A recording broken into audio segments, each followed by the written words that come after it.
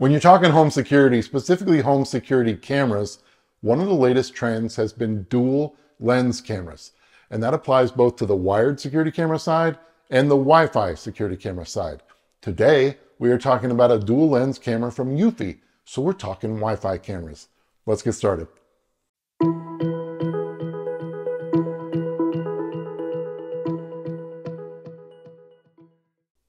What up, everybody? It's George Langabeer with Silver Hammer Surveillance, coming to you once again from Voltage Studio. Here on the channel, we talk smart home tech, we talk home security. We have videos weekly. Follow me on the socials, specifically Instagram, where I give you a little more insight into the man behind Silver Hammer Surveillance, and we talk home security and we talk the smart home world there as well. Today, we are talking about those two topics, my favorite topics, the smart home and home security. We're talking about a new dual lens camera from Eufy Security that is a Wi-Fi camera. And what does dual lens means? It means it's got two lenses. One is a regular lens and one is a zoom lens. These became very popular with video doorbells that have two lenses, one for people, one for package. In fact, Eufy's got two of them now, the Eufy Dual and their most recent video doorbell, which also has two lenses. Very cool. And they're becoming kind of a trend in the home security world. So today we're talking about the SoloCam S340. That's Eufy's latest offering in this dual lens category.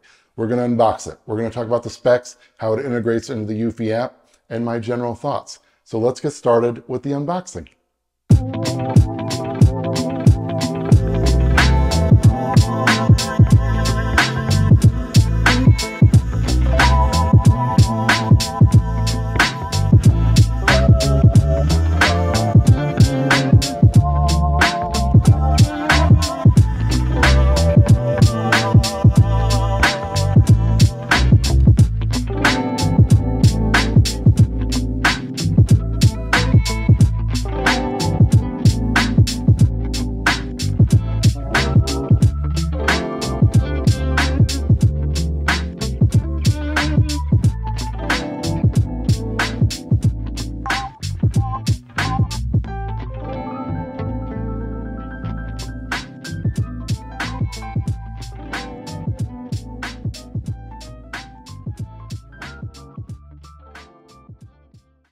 Okay, now that we've unboxed, let's talk some specs. Before we do that, I do want to thank Eufy for sending me this camera. I appreciate it very much, but as usual, I'm going to give you my unbiased review.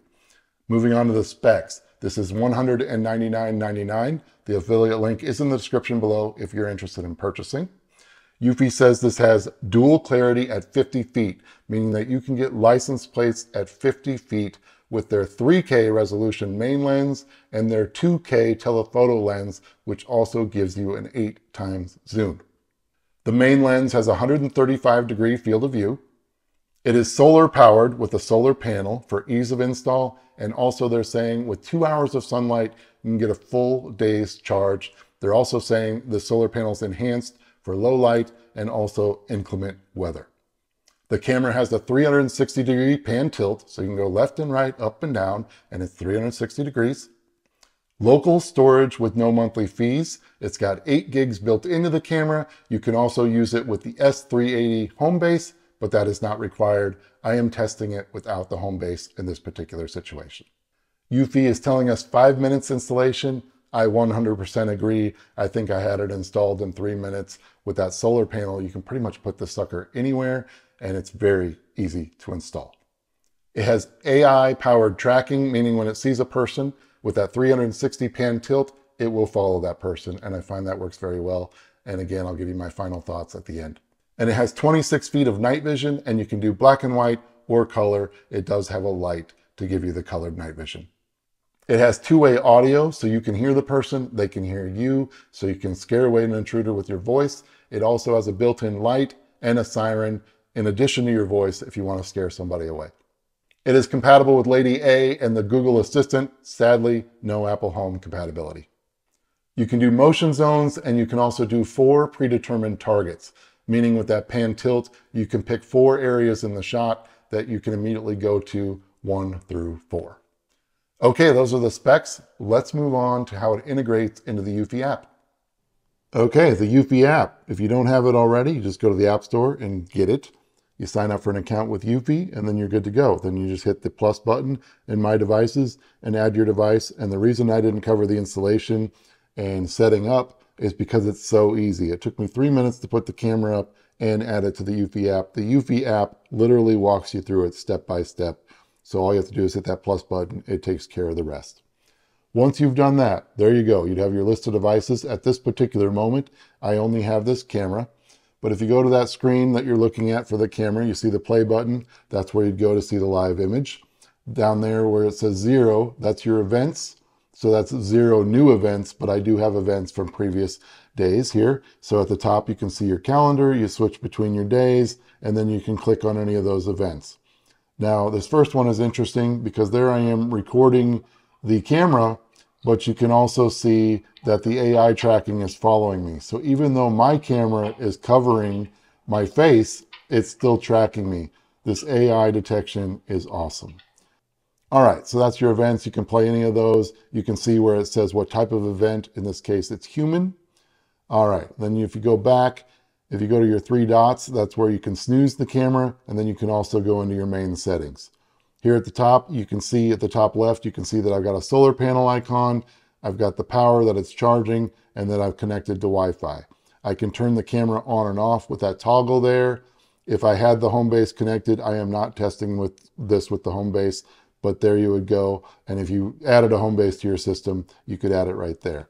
Motion detection, this is where your motion detection settings are. You can toggle it on or off. You can do your activity zones here.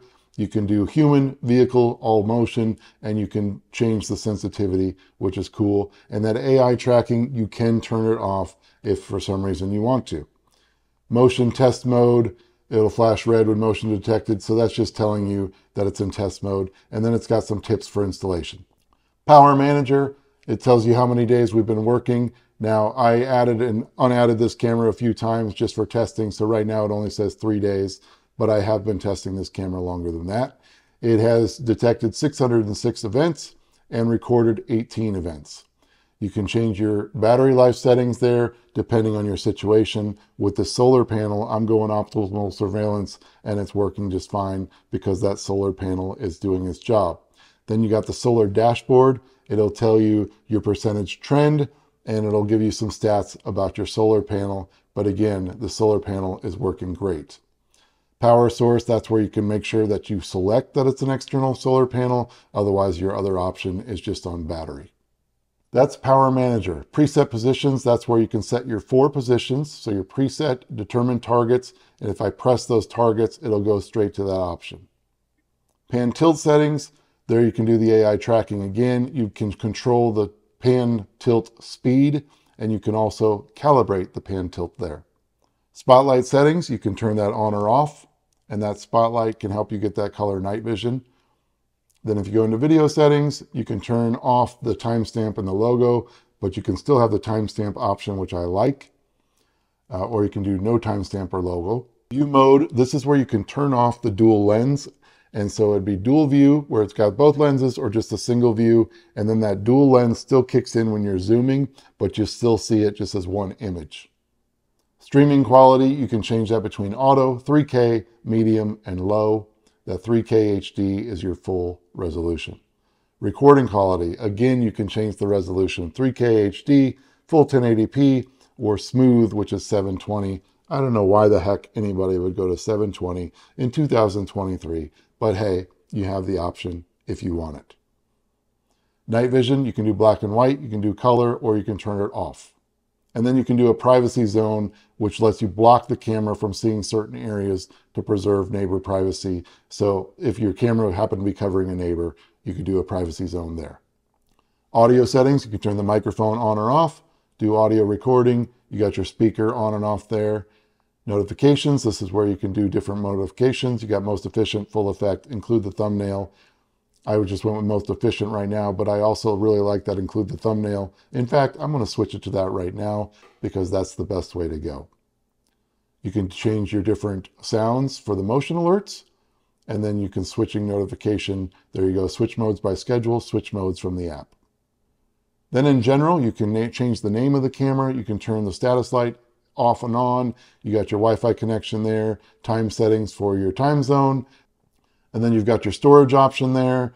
Right now we're on local storage. I'm using that 8 gigs built into the camera.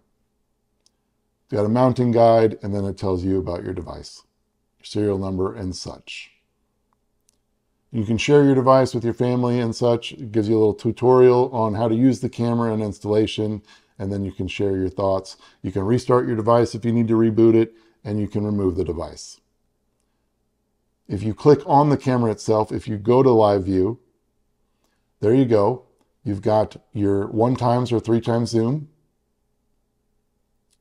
So you can see it zooms in there and it maintains its clarity. That's the key with that telephoto lens. Most cameras, when you zoom in, get more pixelated. This one maintains its clarity. You can record a clip right there. You can turn the sound on and off. I've got the sound off, otherwise we'd be getting feedback right now. If you press down the microphone, they'd be able to hear you. There's your pan tilt options. You can turn the camera. You can go up and down and so on and so forth. You can turn your light on and off. And then just a side note, you got to scroll over. You got a couple different options there. You can take a screenshot, which is just a still picture. You've got night vision control there. You can turn your AI tracking on and off. And if you hit that 360 round look, it does its full 360 pan tilt and kind of goes in a little pattern there. Where the pan tilt arrows are, if you hit that arrow button, there's your four preset targets and you can press them there as well. Okay, so that's how it integrates into the Eufy app. Let's talk my thoughts and pros and cons and such. Let's start with the positive. Let's talk pros. And there are a lot of pros to this camera. Ease of installation. It seriously took me three to four minutes. So awesome. And with that solar panel, again, you can put it anywhere. And I love that. The Eufy app is pretty straightforward and easy to use, as you just saw. I love the fact that Eufy has the local storage with no fees, saving you that monthly fee. We all hate those monthly fees. There are so many of them nowadays, but you get to skip it with Eufy. I found that the solar panel worked great. I had zero issues with power. I feel that that thing's pretty well made and it's nice and small. It's not a huge eyesore like a lot of solar panels are, so that's fantastic. That 360 pan tilt is great as far as getting you a lot of bang for your buck out of one camera. Now, keep in mind, as great as that is, it's always great to have multiple cameras because with that 360, when you're leaving this camera alone, it's still just focused on one thing. So if something happens over here and the camera's looking over there, you could still miss it. So just keep that in mind, even though this has awesome coverage with that 360. I found that the AI tracking worked perfectly. When it saw a person, it followed them, including myself and it was just flawless. There was no skipping. It really kind of just was a smooth sailing right along with the person. We got a lot of people that walk their dogs out here and it followed them great. I thought the resolution looked great on both cameras. 3K on the main lens, 2K on the telephoto lens. Now, the zoom was beautiful. Like I could zoom in on details on somebody right outside. I did not have the ability to see a license plate at 50 feet, but that's not the fault of the camera. I just don't have a good angle to do that here. So no fault of Eufy, I just couldn't test that particular feature. But what I could see on the zoom looked fantastic. So I really like that and the resolution looked great. I found that the microphone works great. I could even hear the dog walkers out there talking on their phones. I could hear general sounds outside, you know, city sounds, all of that. Now, some of that's just white noise that you want to get rid of. But when it comes to these microphones, you can't do anything about that. Again, it's not the camera's fault but I really heard fine-tuned sounds like the people talking on their phones, and I, I could hear them like they were right next to me. So the microphone was fantastic. I found that the Eufy alerts, you know, when you get notified for a person being outside, I found that they were instantaneous. Keep in mind, I do have gigabit internet here, a really good internet connection on that camera, but I found that they were pretty much immediate and no delay. Okay, those were the pros, and they were some great pros. Let's talk about the couple of cons. Now, I just talked about the microphone being a pro. The speaker is not, as far as the person outside hearing me. I found it to be a little choppy, and also you're not going to hear it at great distances. So scaring somebody across your yard, that's not going to happen. Somebody right up on the camera, maybe, but hopefully you don't experience the same choppy thing that I did.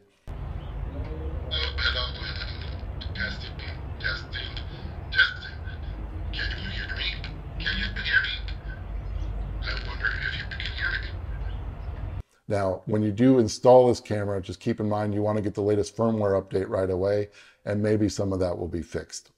Now this isn't necessarily a con, but the two lenses does take some getting used to. It's just a little bit of a learning curve and that's not a big deal. You're going to figure it out very quickly. And if you've got any of Eufy's doorbells that had two lenses, you're going to be used to it right away. So again, not necessarily a con, just a little bit of an adjustment. Now, the biggest con for me is no Apple Home compatibility. Eufy was just so on board with Apple Home at first, and I think some of it has to do with the Apple Home requirements. So maybe it's not all Eufy's fault, but I really wish this camera was an Apple Home. So I got to consider whether or not I want to keep it just because it's not going to fit in with everything else I have here. But it is great with Lady A and Google Assistant, but not Apple. We the night vision, I would say on paper, that is a con. Now, me in particular, I didn't have much of a problem because I live in an apartment building. We got a lot of light coming off of this building. Now we do have a very dark area back there where there's a river, um, but I'm not really checking things out that far. So it really didn't bother me that I couldn't see that far. But if you had a big yard or if you have a really dark backyard, this might be a problem for you. But here it worked just great, both in black and white and color. But on paper, that night vision is just not the greatest. You know, a lot of uh, Wi-Fi cameras start at about 30 feet. Eufy's a little bit under that. So, eh. But it really didn't bother me any. So it's a con on paper, but not a con with me. Okay, so that's it. Those are my pros and cons. That is my review. You can see that my pro list was much longer than my con list. My con list was pretty nitpicky. I do have a problem with it not being Apple Home. That's the only reason I might not keep that camera here. But for you out there that like Lady A and Google Assistant or don't care about the smart home integration, this is a fantastic camera. You get a lot of bang for your buck out of those two lenses and that 360 pan tilt and the Eufy app is loaded with features all on its own. So if you're in the Eufy ecosystem, man, go for this camera. And that solar panel, not only great for the power options, but you can pretty much put this sucker anywhere and it makes it so easy to install. What do you think? Have you tried a dual lens camera? Did you have any of Eufy's cameras or do you currently? Like the Eufy Dual or their newer doorbell. I had the Eufy Dual for a long time and I'd say it's still probably my favorite video doorbell except for the lack of Apple Home compatibility. Eufy was so good about that for a while and then they dropped off. If it wasn't for that, I would have that Eufy Dual out here still today, but I don't because of the lack of Apple Home compatibility. But yeah, let me know in the comments what you think. Again, these dual lens cameras, are you used to them? Um, I think they're kind of a thing of the future. I think that's going to happen a lot more and Eufy's at the forefront of it, and they were starting with the Eufy Dual. So good job, Eufy, there. So, like this video, subscribe to the channel. You know I love you. For returning subscribers, man, you're the best. For anybody new here, welcome to the party. I so much appreciate you being here. As I say every video, man, it means the world to me that you would watch our content. I hope you find it useful and helpful, and we love having you all here, and I appreciate all your support. So until the next video, peace and love.